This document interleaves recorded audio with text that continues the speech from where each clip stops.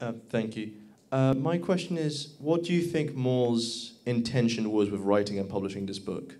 In writing Utopia. Utopia. His intention. well, I mean, that in a sense is the biggest question of all, and the one that it, it, is, it is and should be impossible to answer in a single sentence, because the whole point about the book is that it's playful, elusive, satirical, and yet serious, penetrating, and in some ways politically deadly.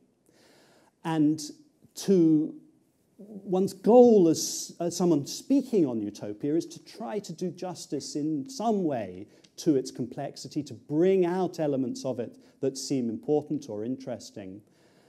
And I, I would go far, so far as to say, not to say, and this is what it meant, because that would be, I think, precisely not fair to the playfulness and the multiplicity of what Moore produced, which is a great and infinitely interpretable work of art, like all great works of art. So I'm sorry, but I'm on principle going to dodge your question.